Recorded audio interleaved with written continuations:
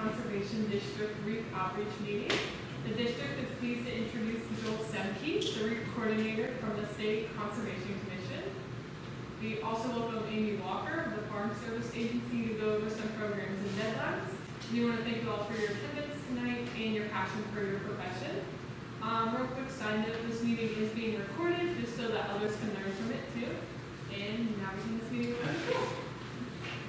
All right, hey, good evening, everybody. Thanks- progress. No, no worries. Uh, yeah, thanks for, thanks for the opportunity to talk. It's always good to get out of the office, uh, but especially good to get out here. I don't often get out this way. It's been, been six years since I was last here. You know, every day I ride, I ride my bike across the Susquehanna River to get to work. And then, uh, you know, I can walk pretty much across the whole river. This is, it's very impressive, Ohio River. Uh, anyway, okay, so I'm, I'm, uh, Joel Semke. I'm the REAP coordinator. I've been the REAP coordinator since, um, 2013 roughly with the State Conservation Commission. Um, Yeah, so I'll- tonight I figured we'll, we'll just, uh, want to go through the program and just summarize it. I know a lot of you probably have used it, uh, know other people have used it. Uh, So a lot, a lot of it will be review, but, you know, every time I go through this, it's always good to just your thoughts in folks' mind that you thought you know, may have forgotten about how to use the program. So we'll talk about that, number one, about um, how the program functions and how it might fit your operation. Number two, I want to take a little more time uh, talking about uh, how REAP interacts with all the other programs and all the other funding that's coming your way, uh, whether that's, you know, a slew of acronyms, sorry, uh, but you put money from NRCS or, or the newer pot ACAP funds or, I don't know, Shell money or wherever, you know, funds that are coming into the, the county that hopefully you all can access to, to improve things up farm. And thirdly, I want to talk about just, um, you know, how, how to most efficiently go about using those, uh, REAP, the REAP funding, which is the state, the form of state income tax credit. So we want, we want to talk about how to use that and some, some newer opportunities and some focus of the State Conservation Commission, the REAP program, about how to help you all access those funds a little bit more efficiently. So, uh, just for some, you know, housekeeping, if you have some questions, uh, please, just jump in, raise your hand, or if you're, you know, the other side there, just let me know. I'll, I'll try to pause as much as I can for questions. Uh, that's the best thing, you know, not leaving lots of time being here for questions. Uh, and then also, I apologize in advance, I tend to like lapse into speaking in acronyms. So, you know, every once in a while, I'll just say a whole sentence of acronyms, and I'll have to be reminded to come back to this point and explain that stuff. So, okay. Uh, anyway, there. All right. So, yeah, number one, let's through this here. Uh,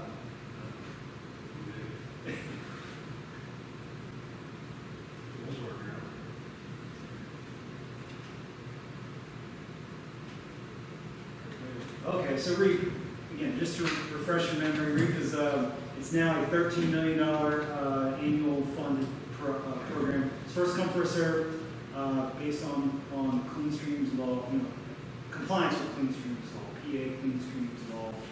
Um, You know, it's, it's, it's basically uh, what you think of traditional ag anything from waste storage facilities, erosion issues out in the field. And then what's unique to REAP is equipment credits. You know, funding for no-till equipment, uh, upgrades to your, to your precision nutrient placement capabilities, cover crop equipment, that sort of stuff is, is unique to REAP. Um, funding levels, you know, vary between fifty percent and up to ninety percent, depending on what practice you're putting in, where you are, if you're in, in a special watershed. Um, you know, the credits, it's in, the funding to you is in the form of Pennsylvania state income tax credits. We'll talk more about that as we go on, get into some detail here. And there is a two hundred fifty thousand dollar, uh, credit limit in a seven-year period for an operation. Uh, So go ahead. Okay, so, first thing I want to highlight here, um, the way REAP works, first come, first served, we start, we start with a pot of thirteen million dollars and we start taking applications first Monday of, of any given August. And we go until that funding is exhausted. So, you know, there's no deadlines for, uh, applications to be sent in upfront, but, you know, we run out of money and lately that's been pretty fast. So, this past year we ran out, uh, right around October first, so that's three months at the most. And I think this year is probably going to be the same. In the past, it's lasted longer, so I think we'll, we'll see it go back to that. But uh, proposed projects and completed projects, that's a very important part of REAP. You can apply up ahead, you know, ahead of putting something in or buying a piece of equipment based on cost estimate. Whether that estimate comes from NRCS or the district, or whether that comes from, you know, price quote from a contractor or, or equipment dealer. Or you can wait till after the project's done. You really have three years after something is done to still get REAP credit. So you could, you know, if you just got a planter, let's say, uh, delivered this, this past spring, you can apply for it now, you can apply for it next spring, uh, if you don't get it this time. But you got a window there to, to make sure you're getting your funding. Uh, either way works. For proposed projects, what we do is we reserve those credits, and they get awarded to you officially when the project's done, when that planter is delivered to your farm, that kind of stuff. Um, okay, seventy-five percent credits. This is stuff that the state sort of uses high priority practices. You know, your, nutrient management plans, your, your ag plans, uh, anything with, with what we say ACA, animal concentration area, uh, and anything, you know, inside that stream corridor. Those are the high priority practices of the state. Those are seventy-five percent reimbursement. Fifty percent, you know, anything equipment related, uh, and then manure storage systems, cover cropping, other things like that are fifty percent back to you. Uh, go ahead.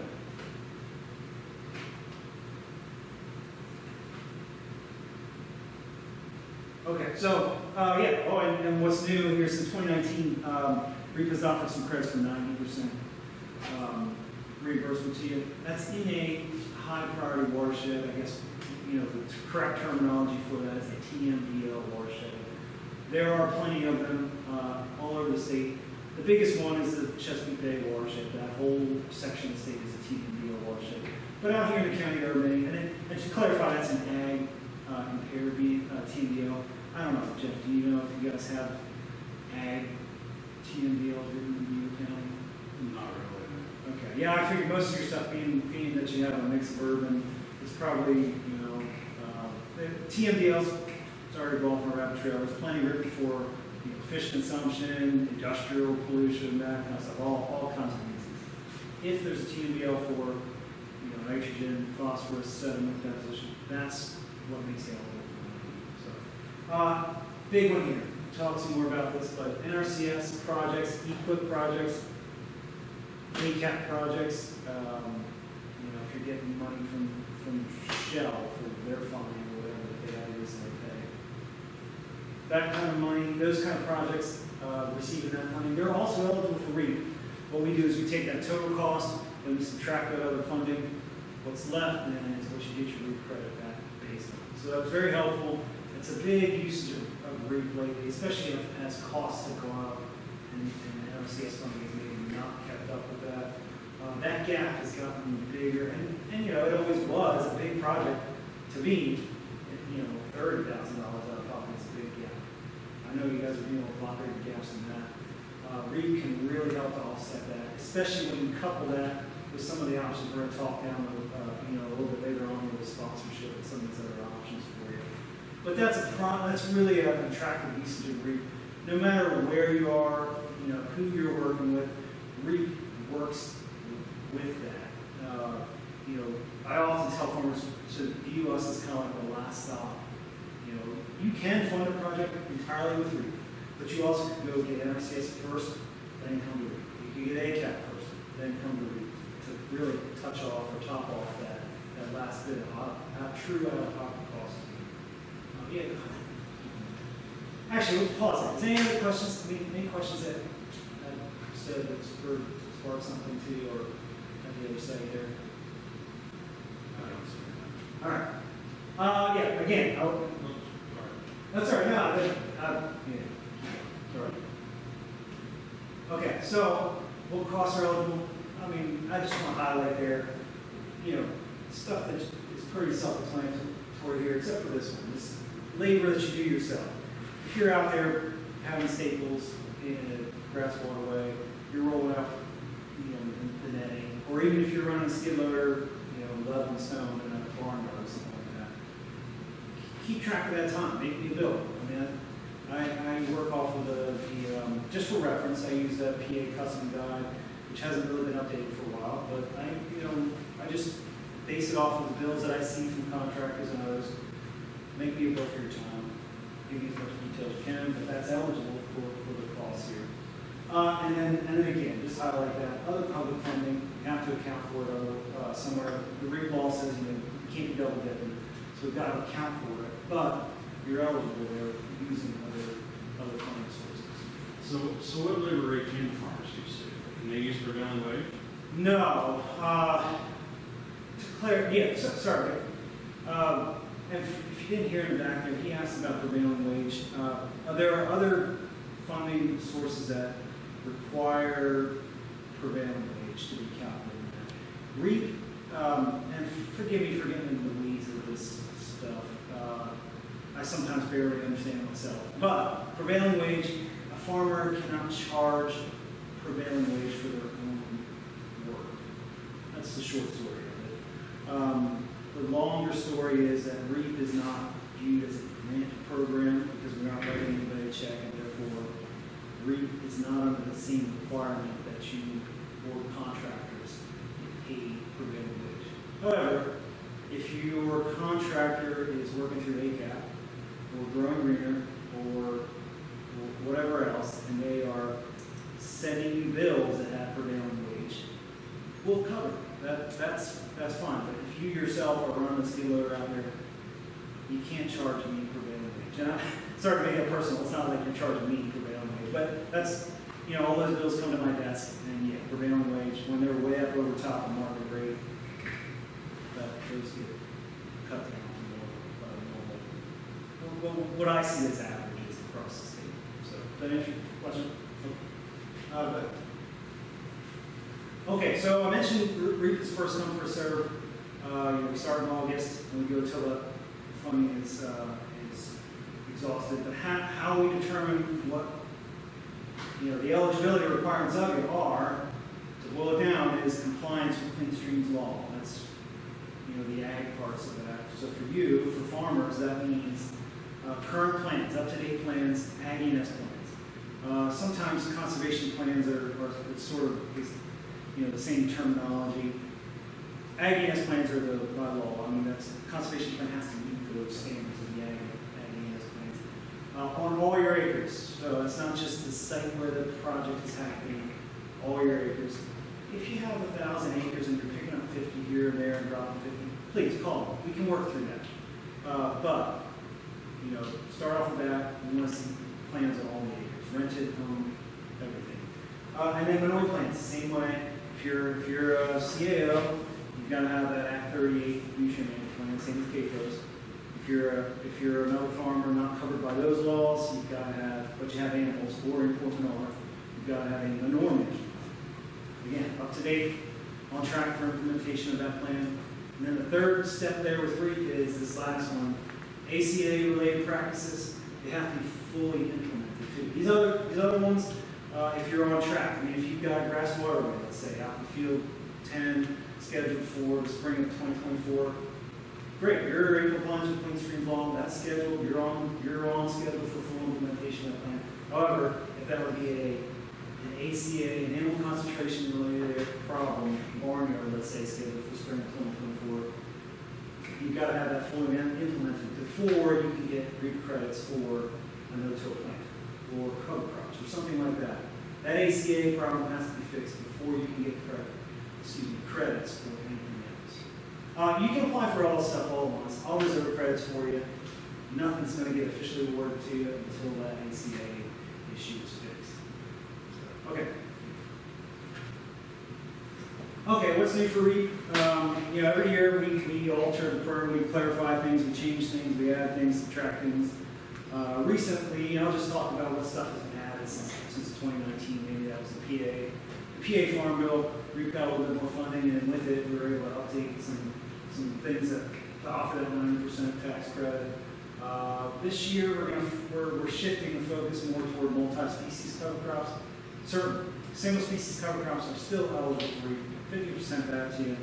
Uh, I'll talk some more about that in, in a little bit, but, uh, we're focusing more on that cover crops. The, you know, the cutoffs for costs are higher for multi, multi-species cover crops. Uh, if you're in, in rig for a while, consistently get single species, to continue being eligible for cover crops, you've gotta bump up to multi-species on some of the there. Uh, precision prescription, that's, I, I lack a good term for that. I don't know if you all, you probably have better terminology for that than I do, but that's basically the, the data inputs you need to plug into your computer and your tractor and drive across the field and your, sprayer, your nitrogen phosphorus are shutting off or adjusting as you drive on it. That kind of prescriptions. That stuff is eligible. I mean, that includes having a consultant out there doing uh, grid, grid sampling. Uh, that includes, obviously, it always has included the equipment to enable you to do that. Now we're talking about the data inputs that enable you to do that. Um, and, and that, that includes a, a, a long list of things, whether it's a whole, you know, plan that a consultant's writing for you, that soil sampling that you need, that yield data, that stuff, that, inputs are, are eligible for, crop, or tax credits. Cover crop drones, uh, you know, I got a ton of questions about this this past year. We're gonna try it, see what happens. I get plenty of conflicting, you know, advice about whether that actually works or whether that's feasible long term. We're gonna try it, you know, cap, you know, you can get a ten thousand dollar maximum tax credit for buying a cover crop drone. We're trying, um, I don't know how long we'll keep doing that, but that's new for this year. Um, silvopasture, uh, I don't know if you, you get into that much here, Newton County? Yeah, I mean, that- that's, that hit or miss across the state, most, you know, certain counties get to do that more than others, but. Uh, and then, and then upgrade kits, this is something sort of new, uh, taking an old planter in and getting all new row units on it, precision upgrades.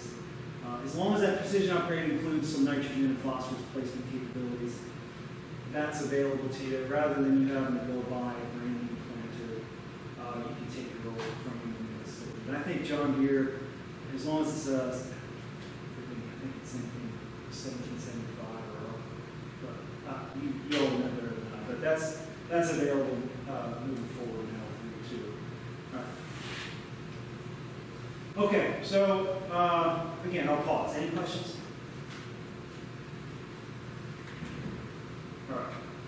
Um, using tax credits. I mean, that's, it's not a, not a tool that you normally use or not a, a funding system that you're probably used to. However, every year, uh, you know, three hundred twenty to three hundred fifty farmers use REAP. Plenty of them have done many times over. So it is a system that, that, that works and provides some flexibility. That's maybe a, a nicer way of putting the complicated issues with it. It, it gives you flexibility, it gives you fifteen years to use them from the date of issuance. Draw on them like a debit card, dollar for dollar to, to pay that, that PA income tax bill. That's on a joint return, all the income on a joint return. It's especially useful if you have off the farm income, if you have uh, a job that has withholding, or, or if you have a, like a gas lease or something like that, where you're getting that kind of income coming in. The credit can be used against all that income, it doesn't have to be just farm income. That's on like an LL, you know, if you have a pass-through entity, um, you pass through the credits just like you do in the crown, uh, uh, membership state. Uh, if it's to your social security, that's you and, and anybody on that joint return, uh, you use the credits for. Uh, and, and yeah, dollar for dollar, just to make that just clarification, it's not a deduction, it's a, it's a credit, so it's against all your liability, your PA income liability. Um, okay, so I mentioned that about pass-throughs and, and jointly claiming them. Uh, you also have the option to transfer them to, to family members after a year. So if somebody that's maybe not in, in pass-through, like an S corp or an LLC, it's a non-official member, you can use this process to, to send your credits to them every year if you want to. Uh, call me for more information about it. There's, there's certainly Department of Revenue has a little more guidelines about it, but that's, that's a good use to have plenty of farmers that do that every year. They pass them out to their kids, grandkids, uh, other people who are involved in the operation uh, maybe aren't on that official business end. Uh. All right, so sale transfer. Um, yeah, this is this is getting into how to maybe more efficiently use this stuff. Uh, plenty, plenty of farmers, you know, you're just not set up to use to, to use tax credit because you're not showing income.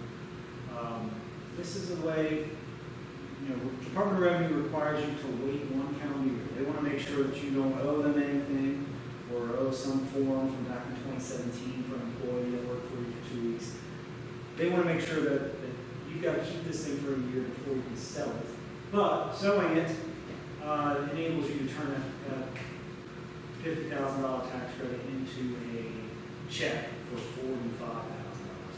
I mean, those are hypothetical figures, but that's how a sales transfer process works. Plenty of business entities out there are, are looking for tax credits. Banks are the biggest buyers of these things. Um, they'll pay you at a discount rate, usually about ninety cents on the dollar. They'll pay you for your tax credit. So you have to wait a year, and you have to use it once if you've got any bill to PA, um, that first year that it's issued, and then you can sell the rest of it. I'd say about thirty-five to forty percent of, of REAP farmers who, who get tax credits, they end up selling a year or more out. Some, you don't have to sell one year out, you could wait till, you know, you could wait till seven or eight years out and decide, you know, you're not using it and sell. Uh, you can transfer bits of it, you can sell parts of it at a time. Uh, you have that, you have plenty of flexibility there, but when I, when I see farmers, they're, um, when they have unexpected sales of land things like that down the road, they're, they're often thankful that they kept a little bit back. So anytime I can talk to a farmer up front and say, hey, well, you know, sell, sell most of it, but keep, keep some of it back for unexpected, uh, hits of income that you want, you weren't planning on, well, now you've got a tax credit to cover that. Uh, yeah. Uh, you can sell them to any business or individual. Um, I mentioned this about banks being the biggest buyer. Please, talk to your bank directly. I mean, there are, there are brokers out there that will help you sell these things. They will charge you commission. I certainly, they're, they're great to get the job done. They're not related to the state at all. Uh, I have a list of the folks that I'm familiar with that have worked with plenty of farmers. But don't use them if you don't have to. Talk to your bank. I mean, your banks, banks are the biggest buyers of these things.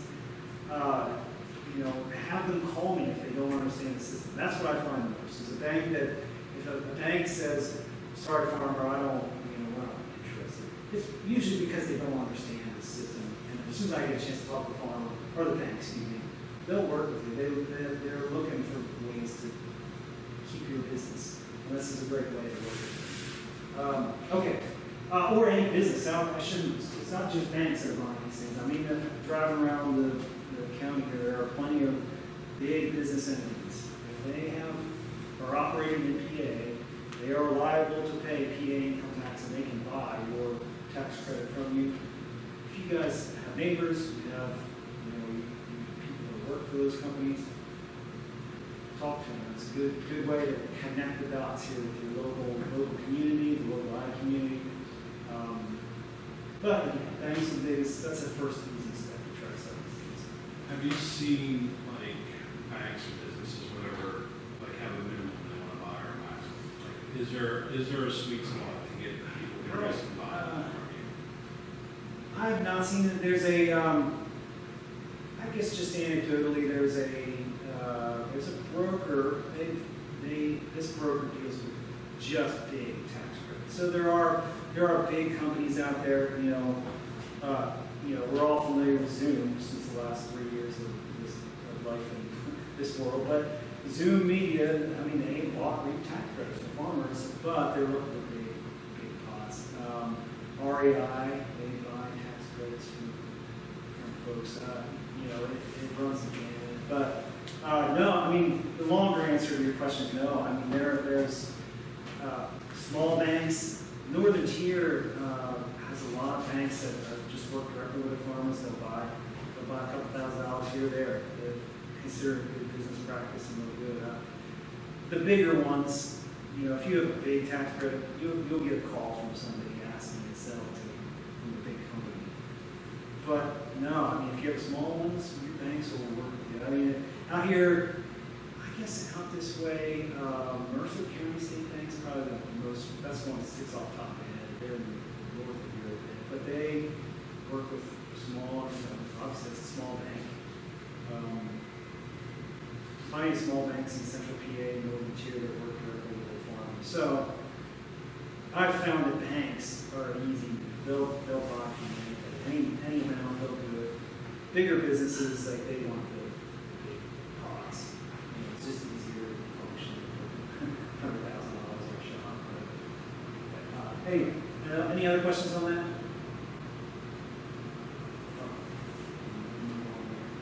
Uh, okay, so, so I mentioned this already. Individual sale, that's where you, you do a little bit of legwork and you find a buyer. Uh, Certainly, I advise you to do that. Please give me a call. I can, you know, go through my list of who's come through the system, try to give you like a, a little bit of direction for, for where to go. But the sky's the limit. I mean, anybody, anybody with PA liability, any corporation or bank can buy these things. Brokers, I mentioned that. It's an application that comes back to me. Um, for the buyer, they want to have this thing back to me thirty-first of the given year. And that goes for transfer. If you're transferring a little bit of credit to your, to your kids, that has to be back to me by December thirty-first of the given tax year. Um, Department of Revenue, you know, that, that's cut off date for business. So you, you do have to back up your tax money a little bit. But call me about that. If you, if you have any, uh, plans on doing that or, or desires to do that, you know, call me about later and, and I can help you get that process rolling and get it done by the end of the year. Um, yeah, okay. Income from tax credits is reportable, as opposed to the credit itself. If you have a tax credit from the state, that is not, that's not reportable income at any level. As soon as you sell it, it is. So, you know, I mentioned selling to your bank for ninety cents a dollar. You sort of have to think there, okay, I'm gonna have a reportable income for that amount. So that's, again, that gets back to that I always advise you to save a little bit of chunk back for yourself to, to pay bigger taxes and you know, expecting. Uh, you can sell anytime, multiple times in there. You know, if you start with hundred thousand dollars, you can sell chunks at any time for, for, you know, small bits, big bits. Um, Is that also federal and local reporting or just state? yeah, that's, that's reportable income at all levels. Even though it's a state tax credit, as soon as you sell it, that's, that's reportable. income, Just like any other, which you might consider selling hay or whatever, it's the same, same thing. All right, so this, I want to spend some time on this. This is, uh, me personally, this has been my goal the, since I started in twenty thirteen, uh, to really raise the farmers' use of this option. Um, you know, back when I started, sponsorship has always been in the REAP program, and I didn't mention it, REAP's been around since two thousand seven. Uh, you know, it was created kind of as a way to incentivize getting those ag plans and, also reward farmers for doing so. But anyway, um, it was, sponsorship's always been a part of the program, it's very rarely used. Uh, people shouldn't know about it, it was, it was maybe a little bit more complicated than what I deal with. You know, I work with stuff every day, I don't think it's all that complicated. But sponsorship is a way for you, the farmer, never see the REAP tax credit. The REAP tax credit goes directly to a bank or third-party business or, or whoever. Uh, and that business then, that bank then writes you a check or pays you by locking off principal of the loan. Whether that's a business, business loan or a project loan. Um, it's a great way to, again, you know, foster those, those relationships with the local businesses, the local banks, and work together to try to get more efficient funding out of this. Um, the, the farmer, you know, the, the bulk of the application is still the farmer's responsibility. You're still responsible compliance with the ministry law. The project still has to be eligible for REAP tax credits, but the applicant is, you know, Shell, or it's bank, Northwest Bank, whoever, whatever banks are big around here. Uh, That's the applicant. Once your project is done, you, you know, you, the farmer, go about your normal business, send me the receipts and the completion stuff. At that point, the tax credit is awarded to the bank or business, and they then pay you, usually ninety cents on the dollar. So, you still take that, you're still not getting the full value of credit, but you save yourself a year, you're getting some more, uh, maybe more, uh, immediate funding from the. If your long-term goal is to sell it anyway, this is a great option, uh, to get involved, you know, get a business involved on the front, front end of things, get your bank involved the front end of things. Uh, again, banks are usually where I see it, you know, it's a big project, you have a barnyard, waste storage facility, something like that. If you've got a project loan with your bank already, likely, you know, even if you're working with NRCS or, or ACAP, or something like that, it's likely that you've got a project loan. That bank that holds that project loan, it's a great opportunity for them to use REAP tax credits that you earn from this project to pay off a big chunk of your principal. So again, we're talking about lowering that cap, and then you take a chunk from equipment, chunk from, I don't know where, that last bid goes right to the bank. You know, you, the farmer, can walk out of this, you know, what seemed like a very daunting project at the start, with a, a pretty manageable little loan. So that's what we want to use it for the most. Uh, those, those, big projects, those, um, those loans that you're getting now, and, and there's another slide here later for, for another program that may help you with those loans. But it's a great opportunity. You're working with your bank all the time. Uh, You know, it's a great, great way to get them involved in the front part of the program rather than buying things from you after the fact. Uh, we're up to about 65 sponsors in a year. Uh, Sheetz is the biggest sponsor of farmers around the- the state. I know you all don't need another excuse to go see Sheetz. but They buy a lot, they buy like two million dollars of credits from, from farmers. Or, I'm, I'm sorry, not buy, but sponsor farmers, up front end sponsors. Um, All around the state, they're, they're working with farmers on, to, to sponsor their projects. Uh, Fulton Bank is usually the biggest buyer of credits after the fact, but Sheetz, Sheetz is a great, uh, whole family, you know, the Sheetz Incorporated, or some of the members, uh, are working to buy, you know, to sponsor projects on farmers' ground, whether it's equipment, cover crops, all kinds of stuff. Uh, same way, yeah, no, those small credits, big credits, what have you, they, they love working with farmers. So it's a good, it's a good connection. Again, it doesn't have to be a big entity like that, it doesn't have to be a bank like Fulton, it could be, could be your, your neighbor that has a Um, yeah, you wanna, okay, that's just, this is a quick example of one. This was one of the first sponsorship projects that I worked with, um, back in twenty seventeen, when we were really starting to get, when I was starting to really like promote sponsorship, get it moving. And This farmer, in this case, he had, um, working with EQIP, he, he was a big dairy, putting in a digester, uh, and some other improvements around the, the barn.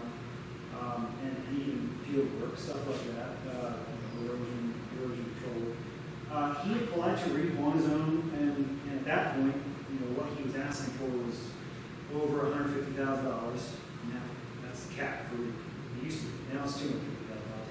So I called him up and said, hey, well, why don't we, you know, with sponsorship, there is no cap.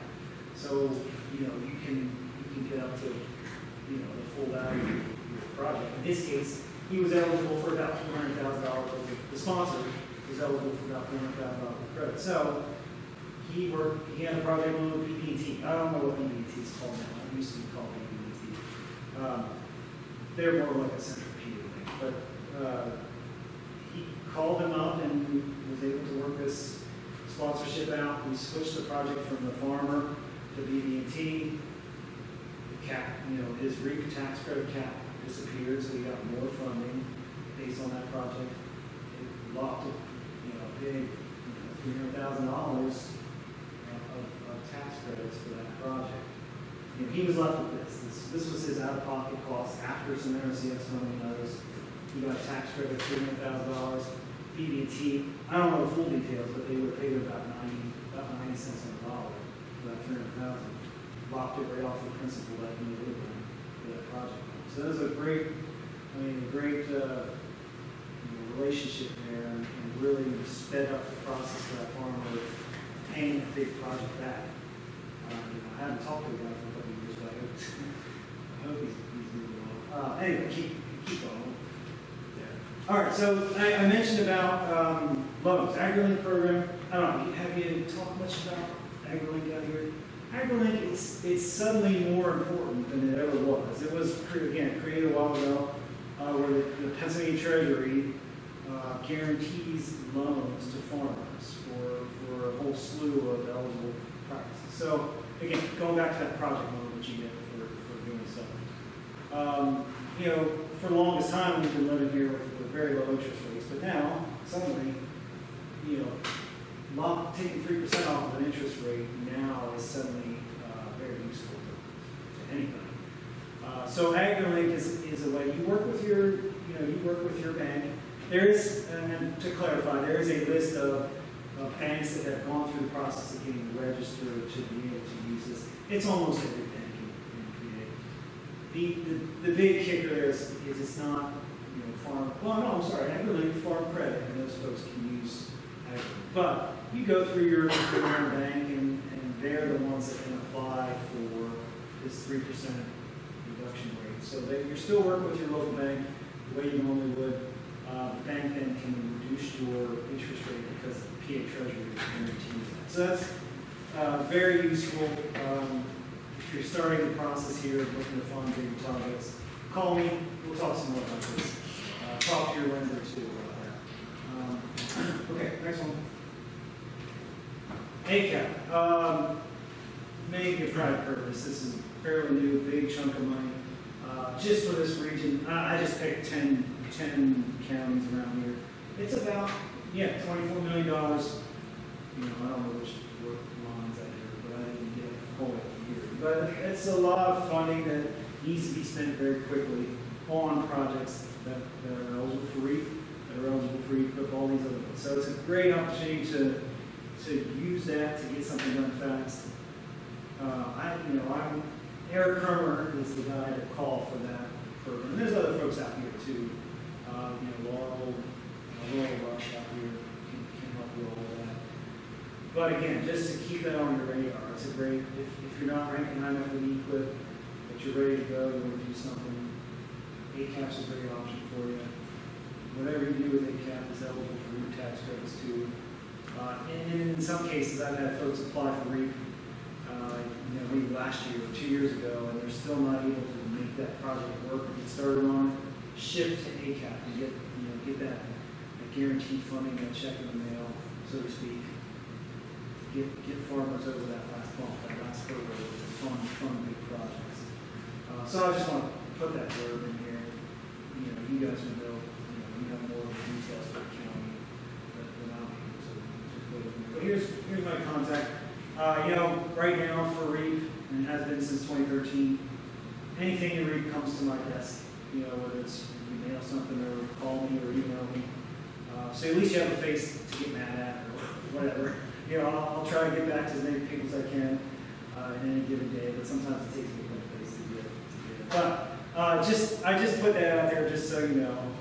If you send in an application, it's not going into some big black void in space. Uh, you know, it's gonna end up on my desk.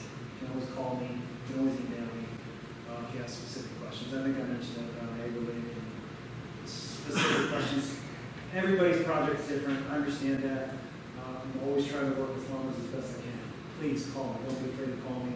Just because you missed something or are not sure about something on the application, I'm not gonna reject applications. I'll just call you, we'll figure it out. Uh, so with that, I just want to, takes, takes lots of questions.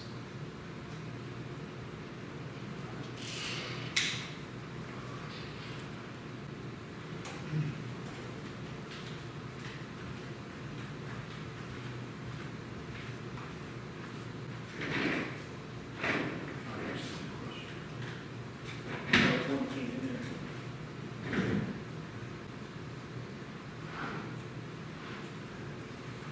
I do have a question. Yeah.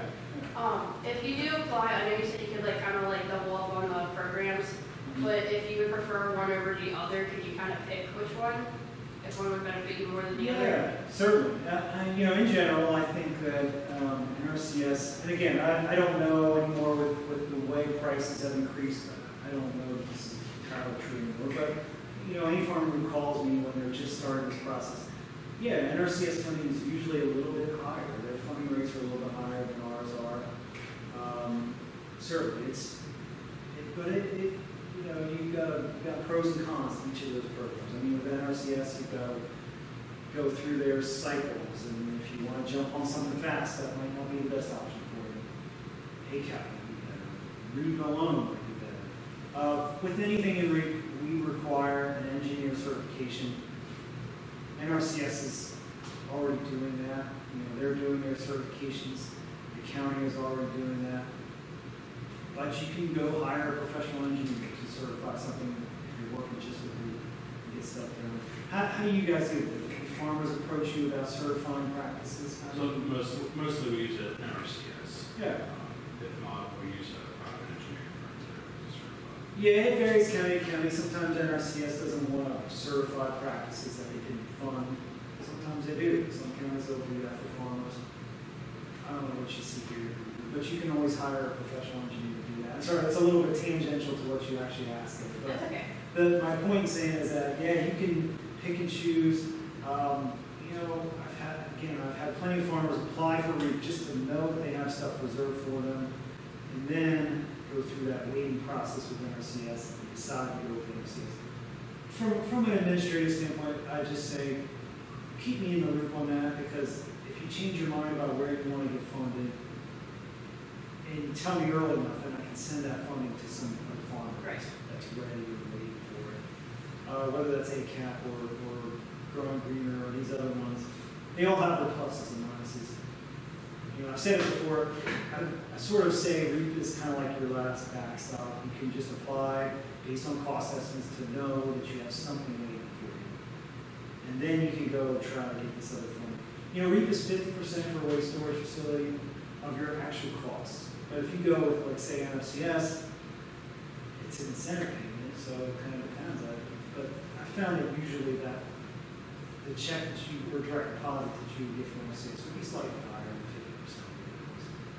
Uh, but again, you can couple that. You can still use REAP for that remaining 50%. Yeah, did I answer, answer your questions. Yeah, that, that was good, thank you. Okay. So the one question I think in a way you answered is, what percent of tax credits do they get from projects over other funding sources?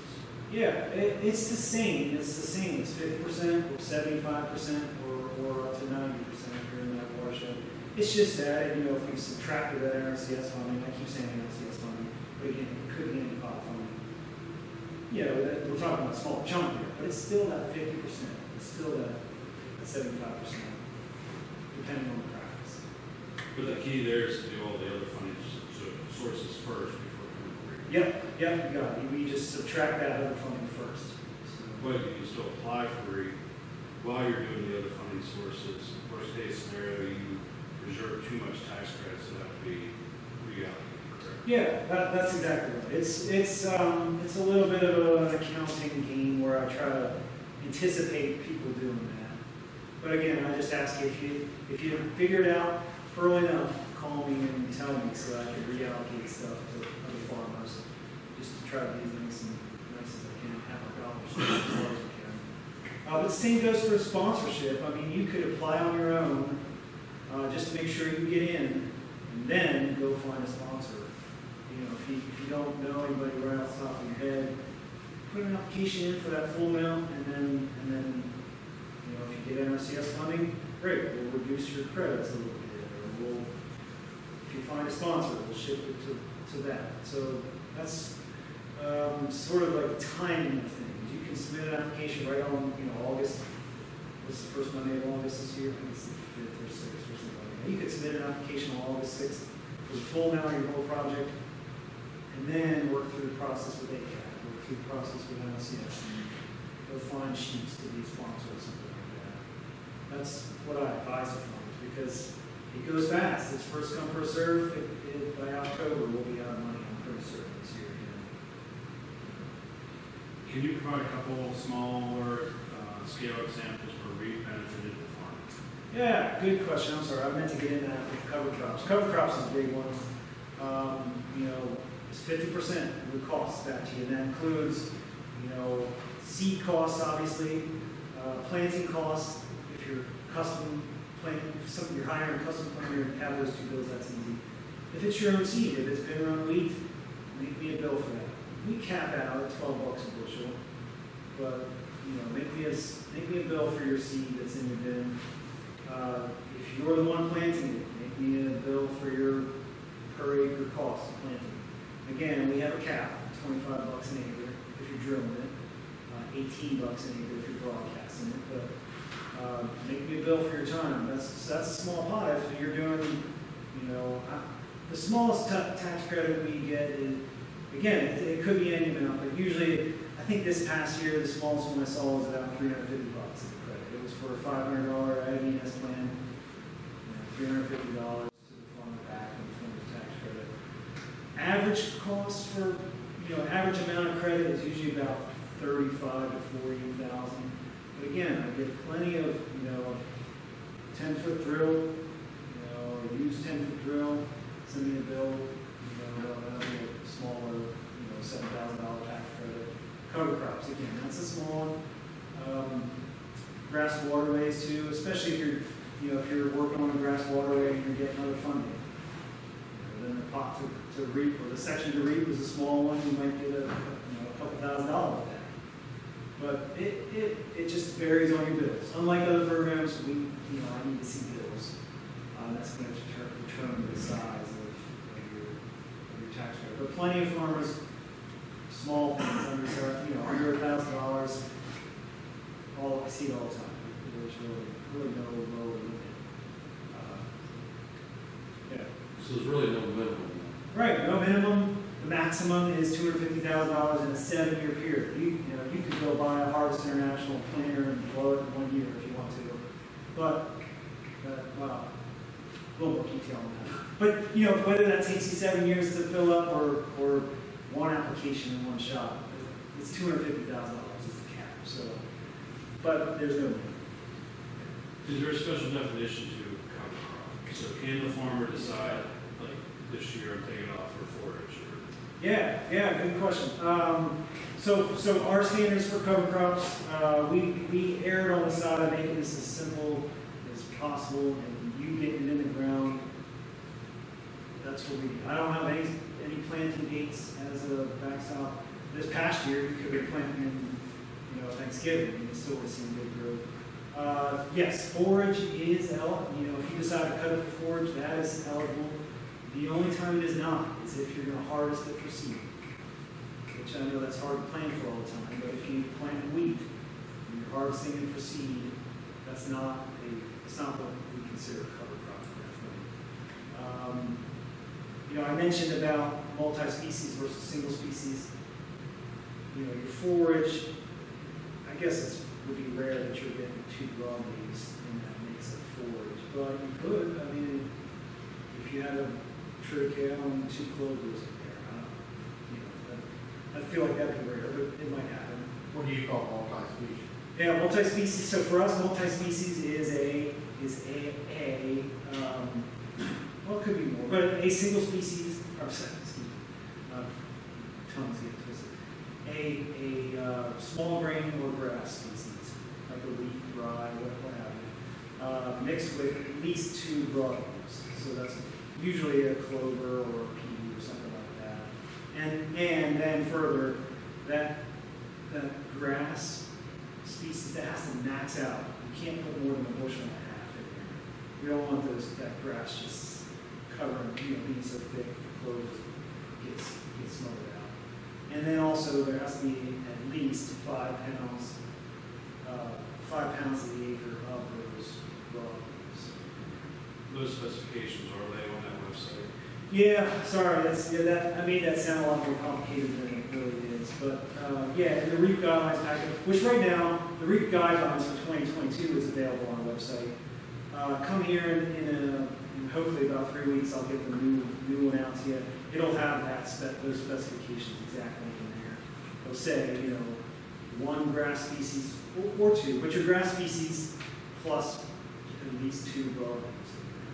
And then it'll have those, those planting bases. Um, Yeah, you sign up for cover crops every year?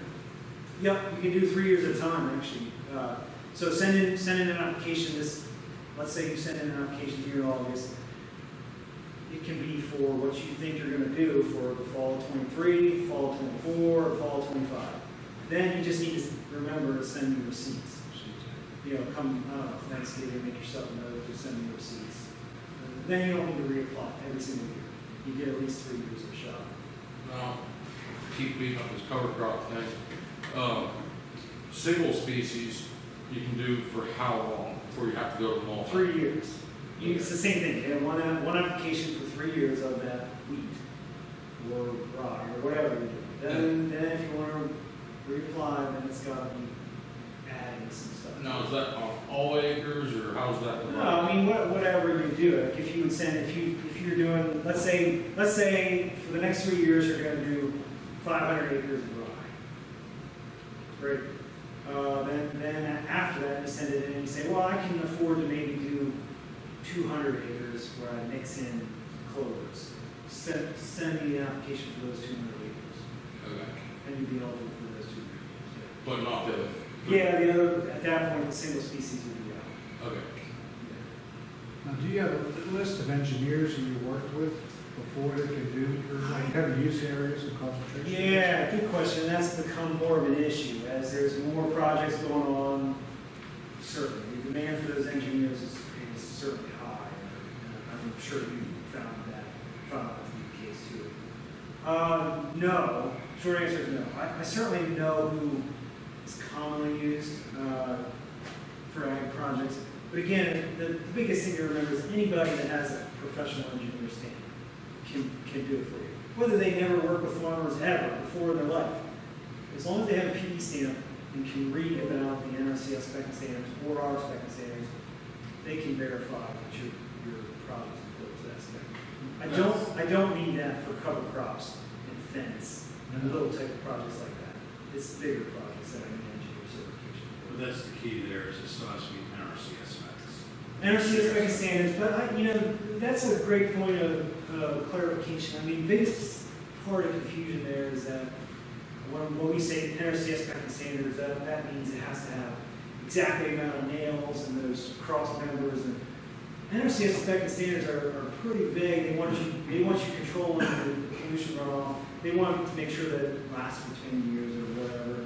And they might have a couple small specs on, you know, call for four thousand PSI or some other small details inside of that. That's different than needing an NRCS design or NRCS funding. I just need an engineer to say that, yes, it's gonna last that long, it's got pollution control and concerns taken care of. It's a little bit different than the mindset of, I need an NRCS design for this building. You don't. If that design meets those spec and standards for again, that's a, sounds like a fine line, but if you read those spec and standards, they're pretty vague, they're mostly dealing with, dealing with the resource concern. So just for example, the, I built a dry manure storage facility last year. Yeah. um, personally funded it.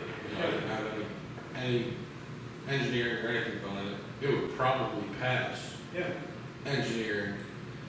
Uh, so can you go backwards on that, like if I wanted to apply for that? Yeah, you actually have three years to come in for that, so. if you So that's just like the equipment, you still have three years to do it. Yeah, same with equipment, any practice rig now, now is that, is that simple three years. You have it from the, from the date of completion or the date when that plan was delivered to your farm, you have three years to apply for, for, so, yeah. So, yeah, anybody listen, I mean, just, That's the same on cover crops, too? no, no, good question. Cover crops, I can't go back past the fiscal year, which we run on state fiscal year, so that's July first to June thirtieth. When you apply for something on, on August fifth for cover crops, it's, it's moving forward. I can't go back in time for cover crops, because they're, they're gone at that point. There's no, there's no, I mean, it's hard enough for me to get out and see projects. There's no way I could see a cover crop from, in the PA legislature, you probably could have about that, so. Oh, I know, I, I, I, fully because you gotta send me a receipt, I don't know why you would have a receipt for X amount of clover that you, uh, but anyway, uh, I can't go back in time for cover crops. But Anything else? Yeah, we have an online question. Okay. Does REAP apply for, say, resources that may be needed in a roof-heavy use area buildings such as gates, waters, et cetera? Yeah, that's a, that's a good question, I get that question a lot with, with the stuff inside the building.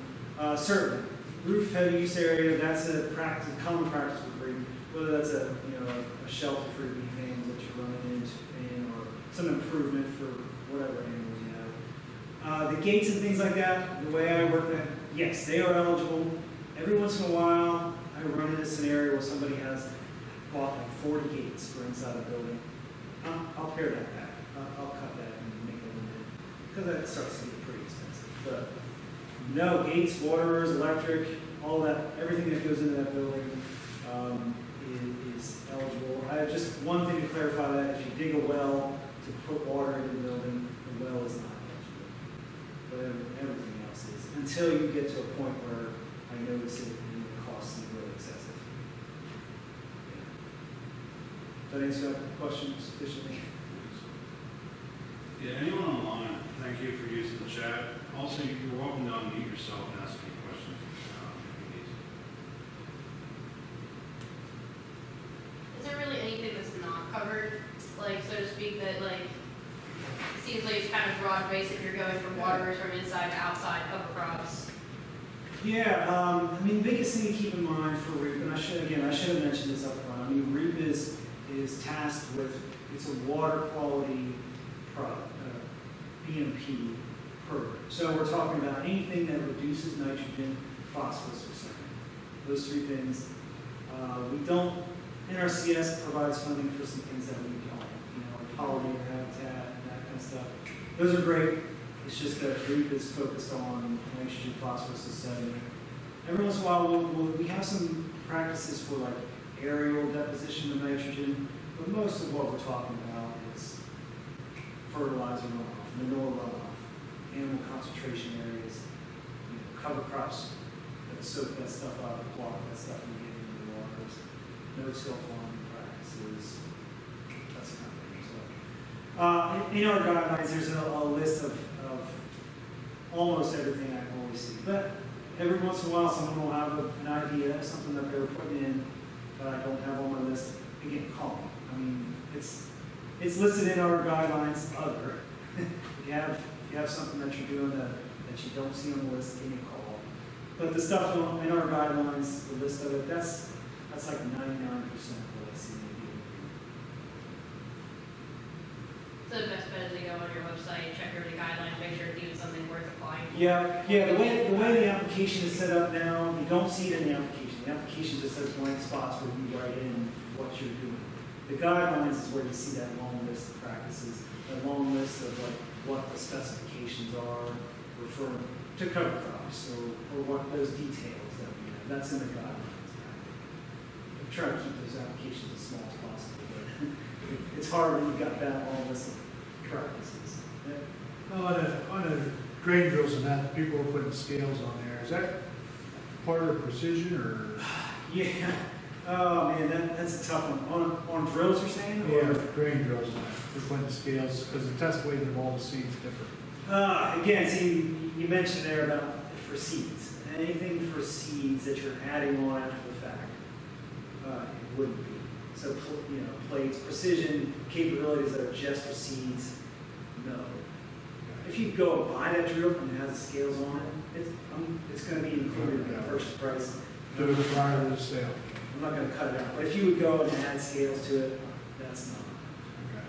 But if you add some nutrient uh, placement capabilities to your planter, that would, that would be.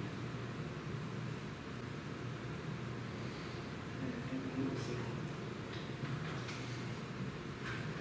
Does it matter if it's equipment over other BMPs? It's just first, first come, first serve. Yeah, it's first come, first serve. Um, again, that sort of hits back onto the ACA stuff. If it's a pro, if you're applying for, or if you have animal control issues, or animal concentration area issues, I can reserve credits for your equipment, but I can't award it until your, to your bigger project. That's sort of related to what you're asking there. But, but, um, to your broader point there, first come, first serve, we don't do any rankings of projects. So in a given year, I'd say about fifty to sixty percent goes to equipment. Late, lately, it's been more equipment heavy just because there are so many other pots of funding available for mineral storage or BMP that I still have lots of projects, but the amount of credits needed for those projects is effectively less because they're utilizing NRCS funding, ACAP funding, and things like that. So, yeah, this year, this past year, I think it was almost sixty percent of our funding toward some sort of equipment. And, and that's, just to clarify for everybody, I know you weren't really asking, but that's no-till planters, no-till drills.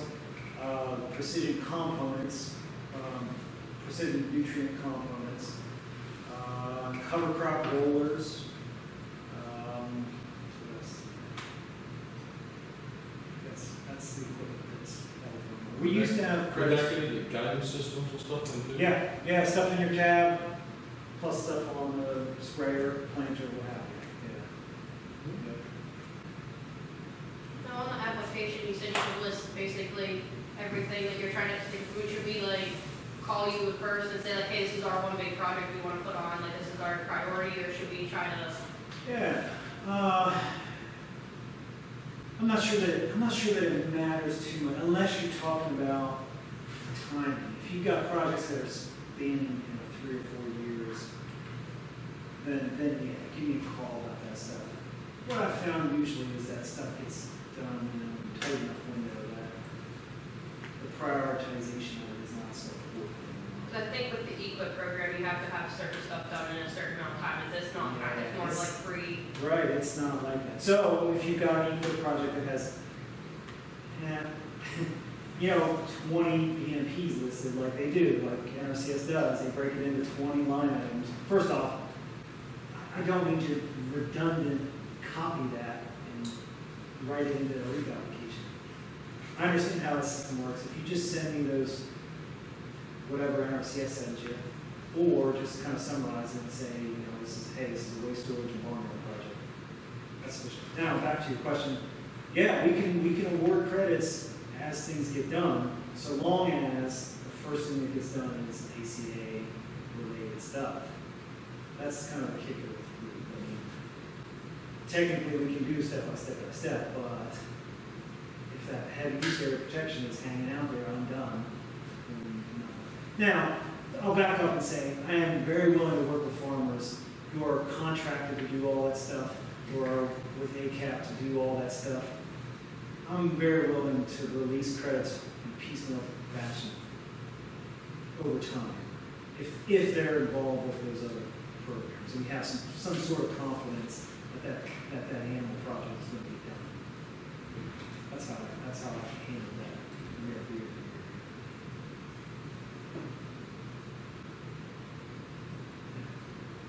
Anything else? I know that's, that's a lot of information I split at you, I'm still like flying eighty miles an hour here from the turnpike. Um, call, call me anytime, and again, the biggest thing here is to get me, if you're interested in applying for this year, get me your name and, and either email or mailing address as soon as you can. Uh, maybe Jeff or, or Rich can send me a list of guys. Uh, that way I can send you the application as soon as it's available here in three weeks or so. That way you're not fishing around trying to find it. Uh, you can get started with these guys, these certifications and verifications that you might need ahead of time. So that come August, you're ready for that.